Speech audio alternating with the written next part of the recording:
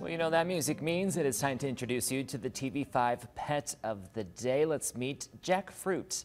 This little puppy is a Shepherd Pyrenees mix and is expected to grow to be a very big boy. He's looking for his forever home with lots of space to run around.